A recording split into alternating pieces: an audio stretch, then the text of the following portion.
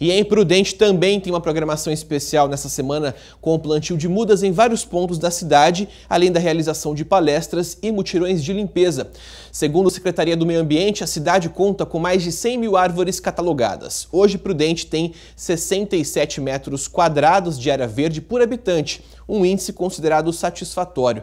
Só neste ano, o Horto Florestal da cidade realizou a doação aí de mais de 1.500 mudas e fez o plantio de duas mil árvores.